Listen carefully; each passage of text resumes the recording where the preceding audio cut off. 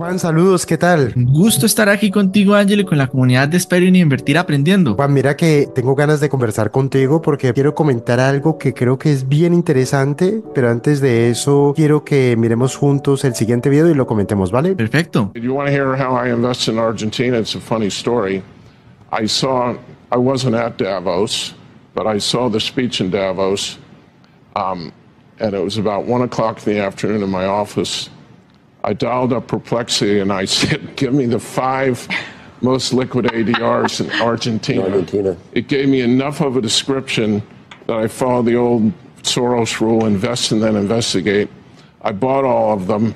Juan, ¿qué te pareció ese video? Pues realmente, Ángelo, que es ¿Tú impresionante. sabes. ¿Tú sabes quién es el entrevistado? Te he escuchado por ti, entiendo yo que es un mil millonario, inversor, muy exitoso. él es Stanley Druckenmiller, es uno de los gestores de fondos de inversión más exitosos de todos los tiempos. Él fue durante muchísimo tiempo la mano derecha de George Soros y fue la cabeza pensante detrás de- del ataque especulativo contra la libra esterlina del año 1992 que prácticamente puso de rodillas al Banco Central de Inglaterra. El hecho es que Stanley pues lleva 50 años, Stanley para los amigos, lleva 50 años, más de 50 años en el campo de las inversiones y durante un largo periodo de tiempo ha logrado rentabilidades consistentes entre el 40 y el 50% anual, es decir, es una de las personas más exitosas en este negocio. Pero cuando yo vi este video me estalló la cabeza porque vi a uno de los inversionistas más exitosos del mundo utilizar de manera muy práctica una herramienta de inteligencia artificial para conocer cuáles eran los activos que le podrían generar algún interés. En este caso era sobre Argentina porque acababa de ver un discurso de Javier Milei. Yo entiendo que él no conoce eh, el mercado de valores argentino, no conoce sus empresas. Le causó curiosidad el discurso de Milei y en ese momento tuvo el impulso de saber cuáles son las empresas más líquidas para ver si merecía la pena y a partir de allí tomar una decisión. Me pareció increíble porque la rutina o la manera normal en la que yo creo que él hubiera hecho esa misma operación y que es la misma forma en la que yo lo hubiera hecho hubiese sido a través de una búsqueda en Google o tal vez hablando con alguien que conozco más un poco más el tema o hablando directamente con el broker por si conocen los tickets o los símbolos de los valores. Pero él en tres segundos haciendo una pregunta muy concreta eh, recibió una respuesta muy concreta una respuesta que además tenía contexto porque si, si viste abajo después decía te explican qué son los ADRs cuáles son los principales ADRs argentinos etcétera. Entonces claro después de yo ver el video de Stanley eh, yo lo que hice fue comenzar a buscar cómo yo puedo utilizar herramientas de inteligencia artificial para la búsqueda de oportunidades para la búsqueda de datos para la búsqueda de información para la comparación de activos para la comparación de métricas o incluso para la elaboración de gráficos que me puedan mostrar una evolución. Y yo la verdad es que estoy maravillado en ese sentido Juan te pregunto tú cómo ves esta, esta- estas herramientas de inteligencia artificial aplicadas para lo que es mi negocio que son las inversiones y el trading tú cómo ves esto La realidad, es que estamos viviendo un cambio de paradigma. Los americanos le llaman a esto un game changer, es decir, un cambio en el juego. Porque tú recordarás, y yo esto lo sé más por las historias que tú nos cuentas, cómo es que se invertía en la bolsa antes. ¿Y cómo se invertía en la bolsa antes? Había que ir a una bolsa de valores con un broker. Eh, me- veo estas películas de los 90, la gente ahí peleando en una subasta. Pero luego, ¿qué pasó? Llega Internet y cambia la forma en que las personas compran acciones, cambia la forma en que las personas operan, cambia la forma en que las personas invierten y la muestra un botón. Tú ya no estás ah, en una casa eh, de inversiones presencialmente, jugándote la camiseta de, de qué acción vas a comprar, sino que desde hace muchos años estás eh, operando desde casa y eso te ha llevado a, a operar tu negocio, a trabajar de forma remota y seguramente personas como Stanley, muchos inversores exitosos en el mundo también vivieron ese cambio al igual que tú, de tener que pasar de sacar el teléfono, llamar al corredor, que él fuera a hacer las cosas presencialmente, a empezar a hacerlas remotamente. Pero es que ahora el cambio que estamos viendo quizás sea mucho más profundo de lo que implicó Internet en su momento, porque es la manera en la que tú accedes a la información, pero no solamente eso, sino la manera en que haces la investigación y que haces la toma de análisis en el proceso. Sé que tú lo has estado implementando en las últimas semanas, en los últimos meses, pero la, para la persona que nos está escuchando es muy importante que en este momento cierres lo que estás haciendo en otro lugar, que pongas en pantalla completa el video que estás viendo y prestes especial atención a esta conversación que estamos teniendo, porque esto puede ser tan revolucionario como lo habría sido en los 90 haber escuchado por primera vez de que algo que está surgiendo que se llama Internet, de que algo que está apareciendo por allí que hay Google. Y hay una gran oportunidad en este momento, una gran ventana de oportunidad para que todas aquellas personas que están metidos en los temas como tú, de inversiones, de trading, empiecen a adoptar estas nuevas tecnologías en sus rutinas, en sus hábitos, en su operativa del día a día. Puede ser que tú lo has hecho en las últimas semanas. ¿Tú, ¿Tú qué les puedes contar a nuestra audiencia? Lo normal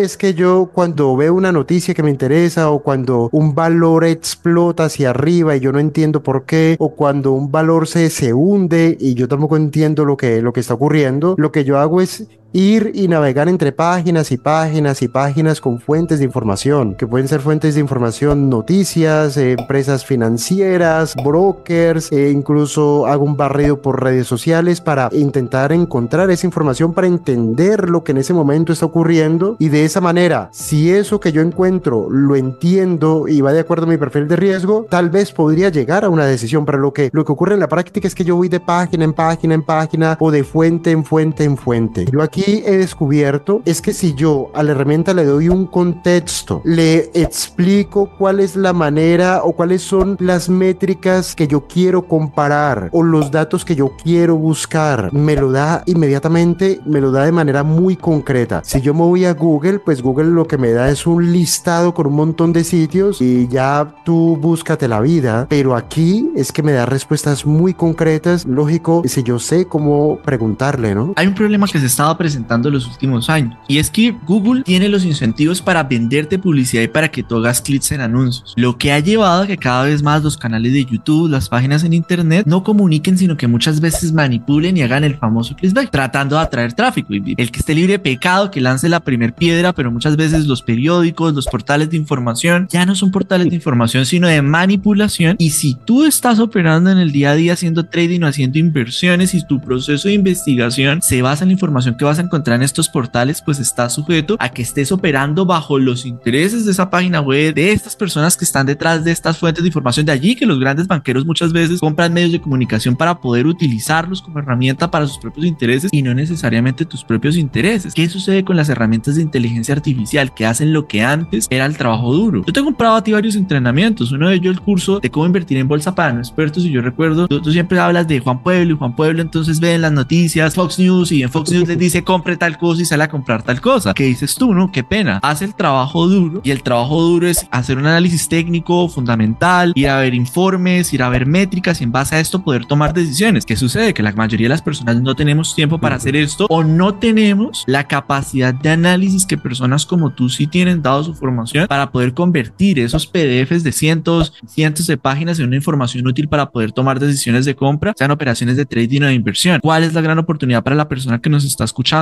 Nunca antes había sido tan fácil acceder a información de alta calidad como lo está haciendo en este momento gracias a la herramienta de inteligencia artificial, pero es que eso es solamente la punta del iceberg, porque una cosa es investigar, pero te pregunto, ¿tú has estado utilizando esto las últimas semanas? ¿Solo lo has utilizado como fuente de investigación? ¿O qué más has hecho con estas herramientas, Ángel? ¿Qué es lo potente? Mira, como llevo tantos años en esto, en realidad eh, a mí me queda muy fácil distinguir el trigo de la paja. Entonces, para mí es muy fácil darme cuenta cuando hay una fake news o cuando la fuente no es confiable, etcétera. Entonces, el mayor handicap para mí, a pesar de que yo me dedico a esto, el mayor handicap es la cantidad de horas en hacer lo que uno podría denominar como la minería de datos. Que es tú tienes un universo casi infinito de datos y entonces lo que necesitas es como inversionista, lo que necesitas hacer es filtrarlo para intentar llegar como a una conclusión y a partir de esa conclusión tomar una decisión. Yo tengo tiempo porque yo me dedico a esto, pero imagínate la gente que no tiene tiempo, el médico, el abogado, el contable que quiere invertir, que quiere buscar oportunidades, pero que no tiene tiempo para interpretar un balance de 150 páginas con su estado de resultados. O la persona que realmente todavía apenas está empezando y no está familiarizado con muchos conceptos, con muchos términos o no ha pasado por distintas situaciones que ocurren en bolsa, pero que si aprende a utilizar el lenguaje apropiado para comunicarse con una máquina de estas de tal forma que le pueda solicitar la información de manera correcta, entonces esta máquina le puede ahorrar muchísimo tiempo, le puede pasar los datos filtrados y desde mi punto de vista se los puede poner en bandeja de plata sencillamente para que tome una decisión y allí sí que tendrá que tener criterio para tomar la decisión, pero el hecho es que ya tendrá los datos filtrados, condensados para tomar una decisión. Por lo menos es lo que yo con lo que yo me he encontrado. Te, te, coloco un ejemplo, Ángelo. Yo tengo una estudiante que es jueza y ella me cuenta que las sentencias que le llegan a ella pueden ser documentos de 200, de 300, de 400 páginas. Y esto para una persona que reciba este volumen de datos que te acabo de dar en su día a día es un dolor de cabeza tremendo el tener que encontrar un dato específico dentro de ese volumen de información. ¿sí? Hoy por hoy con las herramientas que hay, tú puedes coger ese volumen de información como podría ser esas 400 páginas y poder apalancarte inteligencia artificial para poder preguntarle como si fuera un asistente. Y en el caso de esta estudiante que te digo, que es una jueza, poder hacer las preguntas específicas que ella tiene,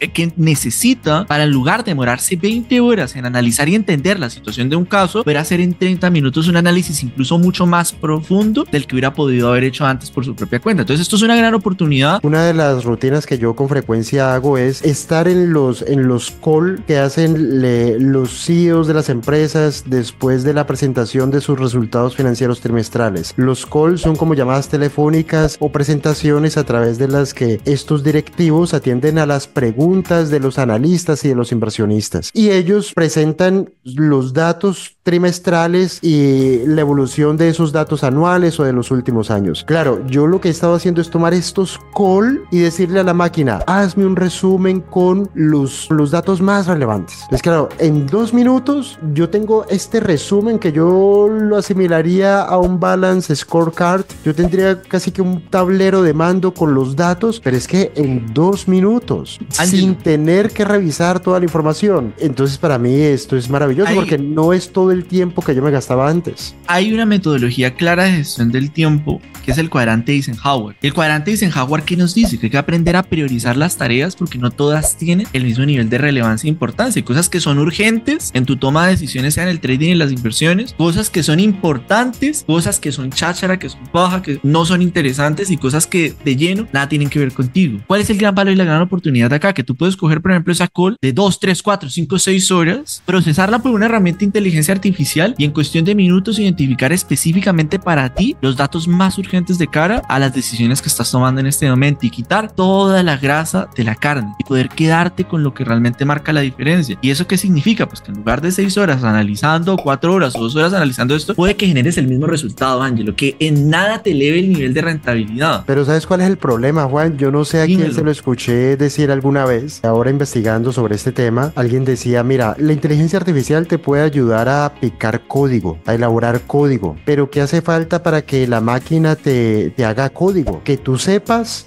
hacer código. Entonces yo creo que la, gran limitación es que para poderle sacar información a una máquina de estas, tú debes saber claramente cuál es la información que buscas. Allí yo creo que hay un reto para muchísimos inversionistas. ¿Cuál es la información que buscas? ¿Cómo la quieres organizar? ¿Y cuáles son los filtros analíticos que te servirían para llegar a tomar una decisión de calidad en el mundo de las inversiones y del trading? Es decir, la máquina lo hace porque yo ya lo he visto que lo hace, pero creo que la gran limitación para la mayoría de los inversionistas y de los traders es entender claramente cuál es la información que necesitan, cómo la necesitan organizar y cuáles son los filtros analíticos que deben utilizar, porque de acuerdo a esto es que serán las órdenes o los inputs que le tendrán que meter a una inteligencia artificial para que les pueda ofrecer un resultado. Y en ese sentido, a ver, ¿tú qué opinas? A ver si, si te animas. Yo he pensado en que organicemos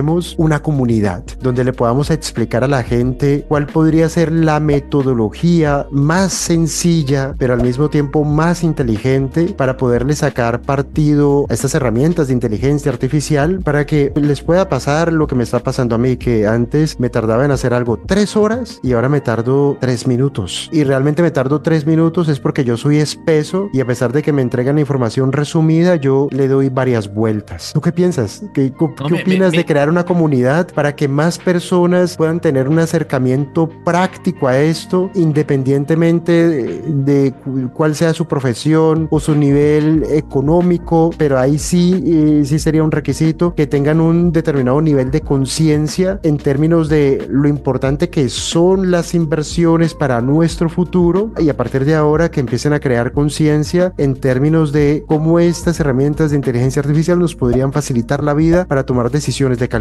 ¿Tú qué opinas de, de hacer me, Me encanta la idea, Angelo, y la razón es esta. Mira, la realidad es que este tema es algo muy reciente. Es como si, si estuviéramos saliendo de la, de la era de piedra y estuviéramos viviendo un, un cambio bastante fuerte. Y tú y yo, por nuestra propia cuenta, hemos estado haciendo experimentos, lo hemos estado implementando en nuestras propias rutinas, en nuestra forma de trabajo. De, de, de allí este entusiasmo del que te estamos hablando el día de hoy, haciéndote esa invitación a no quedarte atrás y empezar a adoptar este cambio tecnológico que estamos viviendo a nivel de humanidad específicamente para que puedas mejorar tu productividad y tu eficiencia a la hora de operar, a la hora de trabajar. Pero es que tú, tú que nos estás escuchando detrás de la pantalla también puedes aportar en este proceso de experimentación que nosotros estamos haciendo. Porque si tú lo implementas, también nos puedes compartir cómo te está funcionando, qué resultados te está dando y de qué manera lo estás implementando. Y así nos puedes enriquecer el propio método de trabajo que nosotros tenemos. Pero sabes, más que mandarlos ahora de que, bueno, armemos una comunidad y demás, me gustaría hacer algo que considero mejor, Ángelo. ¿Por qué no? Hacemos primero un taller gratuito, abierto, por ejemplo, dos horas, para que tú nos muestres con lujo de detalles, con, con mucha más calma, cómo estás implementando todo este tema de inteligencia artificial en tu caso, en tu día a día, en tu rutina, para que ese análisis de mercado y demás. ¿Podríamos hacer este taller? Hombre, yo encantado. ¿Qué te parece si lo hacemos gratis para que nadie se limite, para que esto esté abierto para todo el mundo, para que todos puedan participar? ¿Tú te imaginas, Juan, una comunidad de mil, diez mil, cien mil personas? Esto está en evolución, esto está cambiando, cambiando, cambiando, cambiando. Y